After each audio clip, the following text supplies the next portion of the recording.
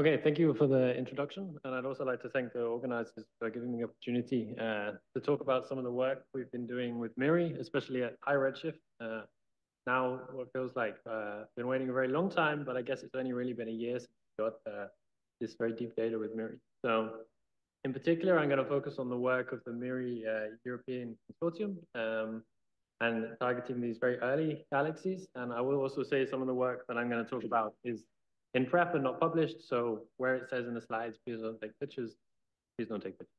Um, so the collaborators and people that this work kind of belongs to uh, is all the members of the, the GTO team listed there, which uh, Gillian is also part of, and so I guess she's not here right now, and uh, Karina Caputi, who will also give a talk uh, later on in the week. Um, so I guess I don't need to do too much of an introduction, um, as we've already seen from earlier talks from Sandra and others, and uh, Takahiro as well. This this is kind of the schematic we have for the history of the universe, where on the right-hand side, you have the present day, where you have these nice, beautiful Hubble-like, Hubble sequence, grand design spiral galaxies. And as you go back in time, things become more chaotic, more turbulent. Um, but we really didn't have a clear picture of, of this up to the dark ages um, and the highest redshift, 3 JWST. So with, with Hubble, you could push up to, you know, just over one, 1 billion years ago, maybe up to redshift 10, but uh, the highest redshift galaxy we had at that point was, was sensitive detections um, around, around redshift 10, and then it's really only with JWST that, as we've seen from the other talk, you can both push much higher redshift due to the sensitivity, but more importantly, it's the wavelength coverage allowing you to probe this rest frame optical, uh, rest frame UV now at much higher redshift. So these are the four instruments that we've all come to love over the last uh, year and a half. Um, but in particular, it is it's this instrument, MIRI, which is the mid-infrared instrument um, that gives you this mid-infrared wavelength coverage. So NIRCam, you can sample up from one micron rest frame to uh, four, four and a half, whereas with MIRI, its filters go from 5.6 all the way up to uh, 25th micron. So this really uh, gives you a new window, new insights to high redshift. So if you want to study and discover the first galaxies in the universe, one of the best things you can do is to just take a deep field observation. Um, so as part of the MIRI uh, European GTO team, this is what we did. Uh, and we picked the Hubble Ultra Deep Field because then on top of your deep JWST MIRI imaging, you also nicely get your already taken uh, Hubble deep image. So in total, the, the GTO program has 125 hours of imaging and spectroscopy. Uh, this is split between 60 hours focused on the Hubble Ultra Deep Field, which we've coined the MIRI uh, Mid-Infrared Deep Imaging Survey. And then the other 65 hours is on spectroscopy, which I'll come on to later, which is targeting specific previously known high redshift objects where you can take mid-infrared spectroscopy for the first time. Um, and as well as this, we also get coordinated parallels and simultaneous observations uh, with the MIRI and, and NIRCam and, and NIRISS. So this is what the, the MIDIS, the, the MIRI Deep Imaging Survey looks like. The white contour you can see on the right is the MIRI footprint, and this perfectly overlaps with the deep MUSE observations that are in this field, the Hubble imaging, which is shown in the background, and then the blue contours is also the ALMA uh, from the ASPECS survey, and also handily, this is the region of sky that uh, JADES observed with NIRCam, so we both have deep Hubble imaging and very, very deep, almost the deepest um, NIRCam imaging. So we also get NIRCam parallels uh, in another part of the field um, where we have deep um, HST ACS uh, imaging, and then there's also NIRISS. But in this, this talk, I'm just going to focus on the work we've been doing with MIRI. Um, and Karina will focus on uh, the rest of the work we've been doing, because obviously with a deep field, you don't only get the highest redshift things, most of your objects are distributed at lower redshift. So this is what the observations look like on the sky. Um, and if we just focus on the MIRI pointing, this is what our MIRI deep field in the five points. And you can really see the increase in resolution and sensitivity when you compare this to what you had with Spitzer before. So where you had these kind of big blob in the Spitzer 5.8 micron image, you now have these beautifully well-resolved uh, objects in with JWST, which split into multiple components, and we can really then study these objects in much greater um, and in particular, one of the first things we thought when we got these MIRI observations is, are there any MIRI only, so NIRCam dark or HST dark as well, detected objects? That would be incredibly interesting because as we've heard uh, earlier this afternoon, using these dropout techniques, if it's only detected in the MIRI bands, and you were to believe these were kind of Lyman breaks, Balmer breaks, these would put these objects at extremely high redshift. And given in the first year of JWST, we know we've now been discovering things at 12, redshift 13, or redshift 14, as we heard earlier. Maybe this is something that we can detect. Um, so you can go through and you can characterize objects that you might think are MIRI only. So the no detection when you stack all the HST and NIRCam data, uh, and this is ongoing work. And you can also, with the deep ALMA data, you can stack. But some of the things you have to take into account is this might not just be a high redshift galaxy. It could be a very dusty galaxy, as we heard before, um, where all of the rest frame UV optical light is just completely attenuated, and then you're only seeing the 5.6. Could be a very low mass, extreme line emitting galaxy where it's not detected in all of your other bands, but the strong emission lines means it's detected in, in this case, in the 5.6. Uh, it could also be brown dwarfs. Um, it might be a very high redshift galaxy, but really we need spectroscopy to confirm that. Or in the worst case, it could just be a spurious cosmic ray hot pixel that, although you remove these in your reduction, uh, might have got through with the number of observations we have and the length of observations you can get cosmic ray effect.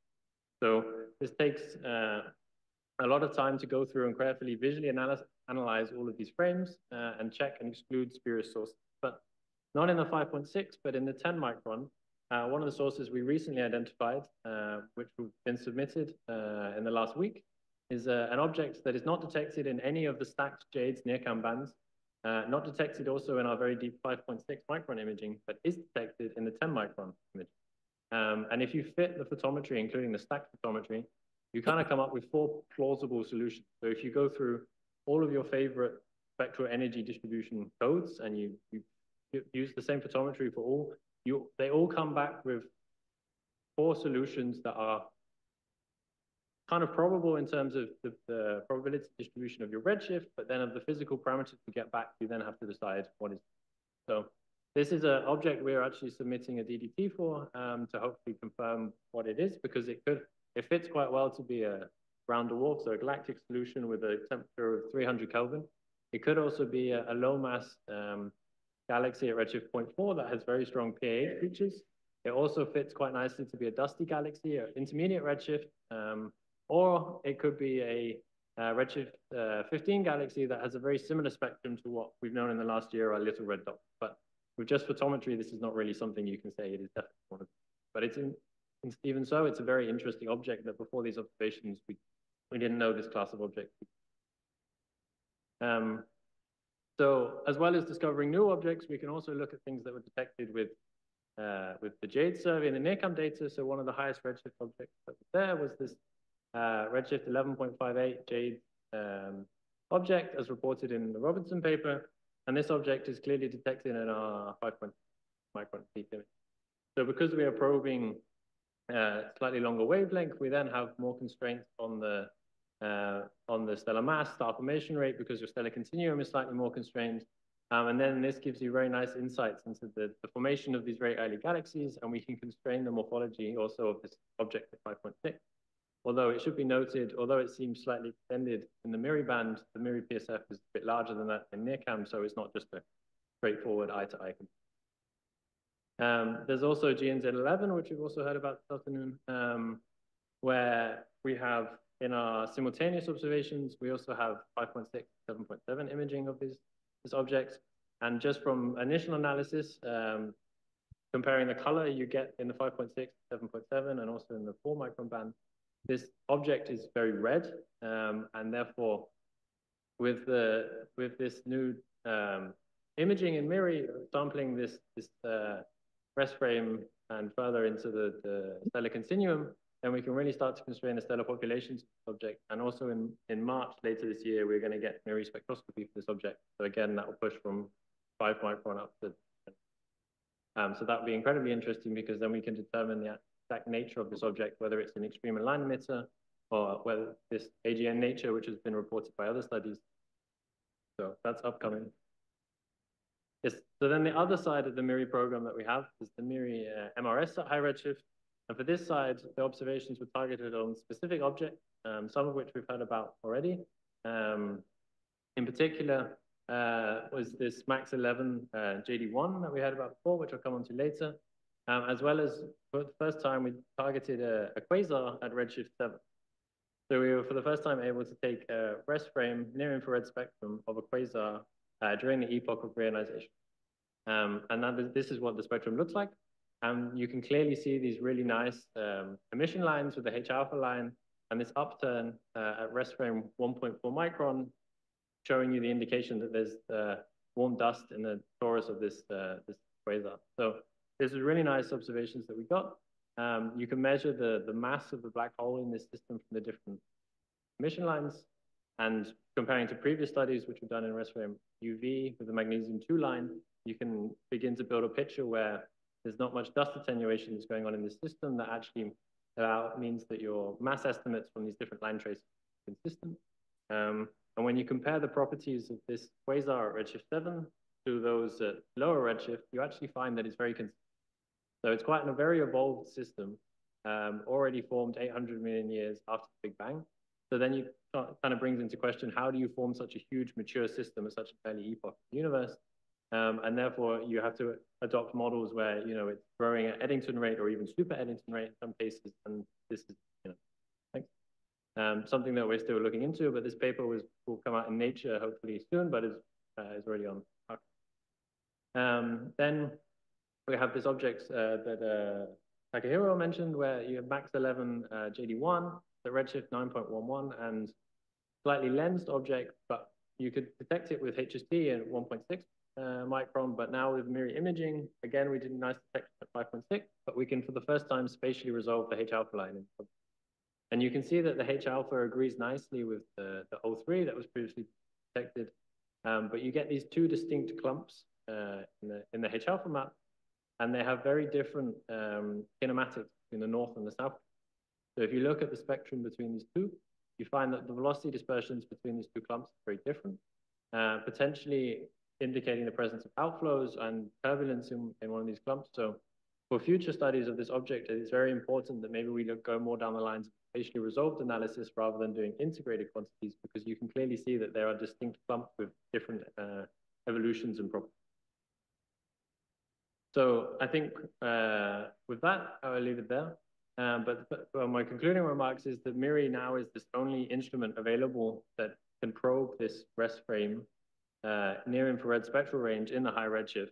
And there is no other instrument for the next 20 odd years that is going to be able to do this.